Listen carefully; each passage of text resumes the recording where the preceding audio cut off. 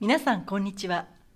読売新聞の調査研究本部略して朝研の主任研究員が国内外の最新ニュースを深掘りして解説する読売朝研レディオ。今日は林田明夫さんにお話を伺います。よろしくお願いいたします。よろしくお願いします。今回のテーマはコロナ融資と中小企業の資金繰りです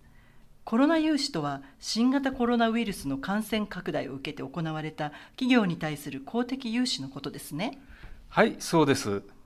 政府は、えー、コロナ感染症の拡大を受けて金利や返済条件を優遇したさまざまな融資制度を設けました。コロナでは多くの企業が休業や売上の減少こういった影響を受けまして資金繰りが悪化しました、はいそうした企業を支援するために実施されたのがコロナ融資です。はい、その利用状況や返済の見通しについて、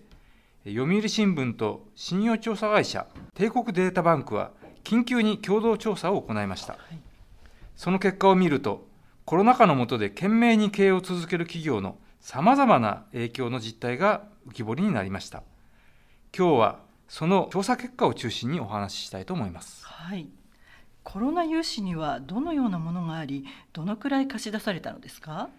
コロナ融資には日本政策金融公庫や日本政策投資銀行商工中金といった政府系金融機関が融資するもの、えー、その他に信用保証付きの民間融資といったものがあります、はい、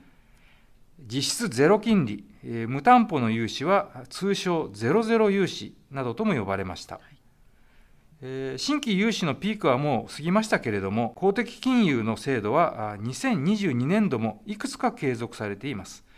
そして貸出残高は今横ばいの状態です。でその残高ですが、財務省の資料を見ますと、官民を合わせたコロナ融資は2021年10月末で59兆円に上っています。3メガバンク、これはそれぞれ80兆円とか110兆円の貸し出し規模を持っていますが、その下の大手りそなグループが約40兆円ですから、この60兆円程度という規模は、大手銀行グループがですね、一つ誕生したと言っていいほど巨額なものです。それだけの新規融資が行われたということです。大変な額なんですね。その多額のコロナ融資によって資金繰りが助かった企業は多かったでしょうね。はい、帝国データバンクによりますと、えー、2021年の企業倒産件数はおよそ6000件、うん、えー、これは半世紀ぶりの少なさです、はい、コロナ融資の倒産防止効果は大きかったと言えるでしょう、はい、ただし、えー、ここで気をつけたいのはこれはあくまで融資であっていつかは返さなければいけないお金ということです、うん、その返済が滞れば企業は再び窮地に立たされかねません、はい読売新聞と帝国データバンクが共同で実施した調査結果をご紹介しましょう。期間は今年2月14日から28日です。まずはコロナの融資の利用状況です。はい、その調査結果によると、どのくらいの企業がコロナ融資を利用していましたか？回答したおよそ1万1600社、この53%にあたるおよそ6100社がコロナ融資を利用したと答えました。うん過半数が利用したということですね。はいコロナによってとっても多くの企業が資金繰りに困り、コロナ融資を使ったという実態が分かります。はい、あと、業種別で見ますと、利用率が一番高かったのは旅館・ホテルで72.3%。訪日外国人客はほぼゼロになりましたし、遠出を自粛する動きが広がって国内旅行も急減しました。はい予約が一斉にキャンセルになって窮地に立たされた旅館などは多かったようです、はい、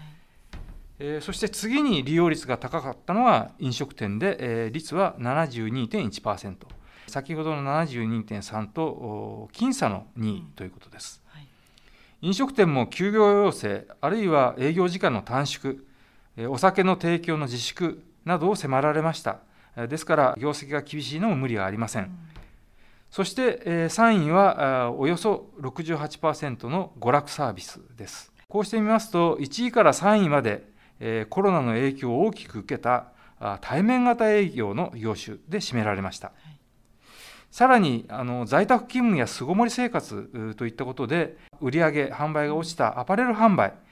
これはあの業種名では繊維、繊維製品、複服飾品小売、えー、とちょっと長いんですが、えー、こちらも66%と、えー、コロナ融資の利用率が高くなりました。企業の規模別で見ても面白い傾向があります。コロナ融資への依存度は大きく違うと。例えばですね、従業員20人以下の小規模な企業の利用率は62%と、えー、大変高かったのに対しまして、300人以上の大規模企業は、えー、12%と、まあ、大体5分の1ぐらいにとどまりました、はい、えー、コロナの影響が大きかった対面型営業、旅館、飲食店といったところは、多くは中小零細企業です。うん、こうした中小企業の資金繰りが真っ先に厳しくなり、その難局をコロナ融資で乗り切った、こういった様子が伺えます。後半ではコロナ融資で借りたお金を企業はどんなことに使ったのか、そして返済の見通しはどうなのかといった点について解説したいと思います。はい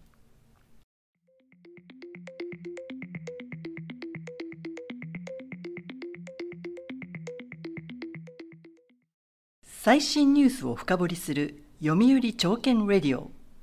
読売新聞調査研究本部がお届けしています。さて後半です。コロナ融資はどのような使途、まあ、使い道が多かったのですか？借りた資金の主な使途を複数回答で質問しました。1位は人件費の50%、うん、つまり企業経営者の半数以上が従業員の収入確保あるいは雇用維持を優先したということが分かります。はい、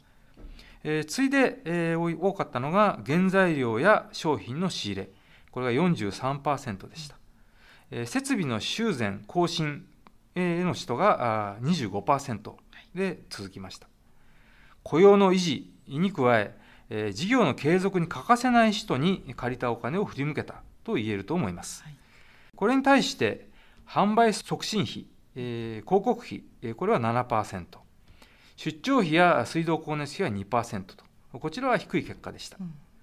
これらの経費は、俗に業績が悪化すると真っ先にカットされると言われる交際費、広告宣伝費、交通費にあたります。3つとも頭文字のイニシャルが K なので、産経費などと呼ばれていますが、うん、こうした人にはコロナ融資で借りたいわば虎の子の資金は回さなかったようです。一方、テレワークを含む通信費ですが、大企業は6%という答えでしたが、小規模企業では3%にとどまったと。これは大企業の方がテレワークに必要な通信、ネットワーク環境が整っている。それに加えて、在宅勤務で対応できる業務が多いということを示していると思います。はい、で私が少し心強いなと感じたのは、新規の設備投資や事業の拡張という前向きな使途、これも19%あったことです。うん、ポストコロナの時代を見据えて巻き返しを狙う企業も少なくないようです。はい、ではこの融資を受けた企業の返済の状況や見通しはどうでしょうか？はい、コロナ融資を受けたと答えたおよそ6100社のうち、すでに全額返済した企業は120社にとどまっています。はいえ、つまりコロナ融資を受けた企業の98%がまだその負債借金を抱えたままというわけです。ただ少し意外だったのは借りている企業の過半数がすで、に返済を開始していたことです、コロナ融資は返済しなくてもいい据え置き期間これを長めに取るといった優遇措置があります、しかし多くの企業が少しでも早く借金を減らしたいそう考えて返済を始めたようです。2022年中に返済が始まる企業は11%、23年の返済開始、これは14%です。この質問に答えなかった企業が650社ほどありまして、それを除けば、23年末までに実質9割の企業が返済を始めることになります。さあ返済なんですが、これは順調に進みそうでしょうか？はい、今のところ81%と大多数の企業が融資条件通り全額返済できるというふうに答えました。ただ、条件通り全額返済という回答の比率は、コロナ融資の利用率が高い業種では低いという結果になっています。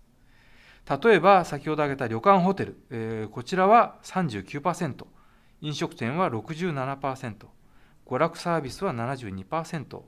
いずれも問題なく返せるとした比率は先ほど挙げた平均の81%よりは低くなっています。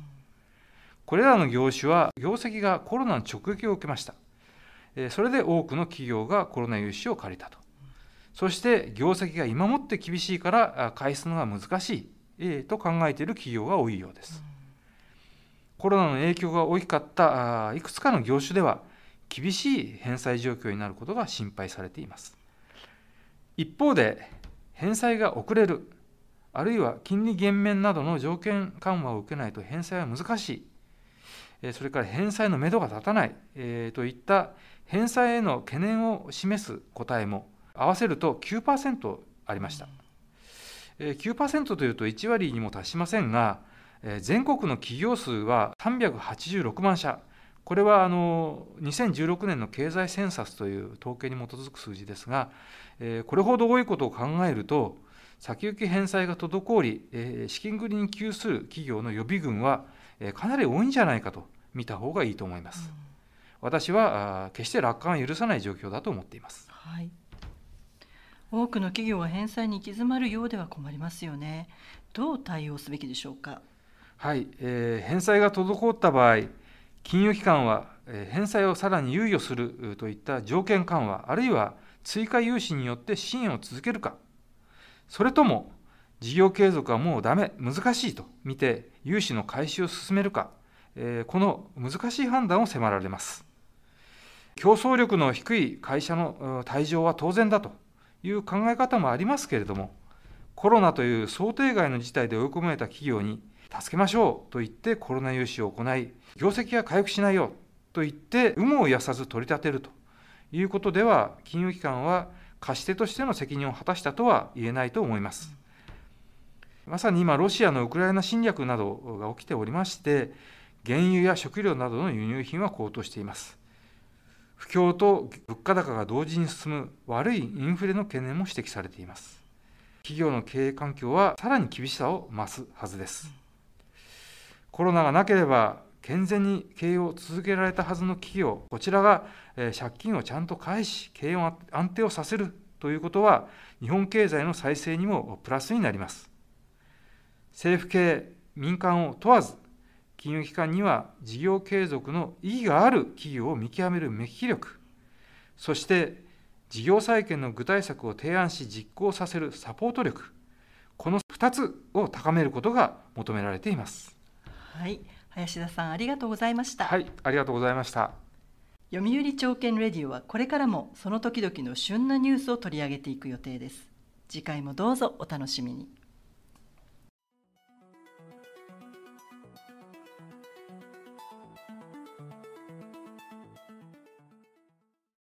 最新ニュースを深掘りする読売朝券レディオ読売新聞調査研究本部がお届けしました。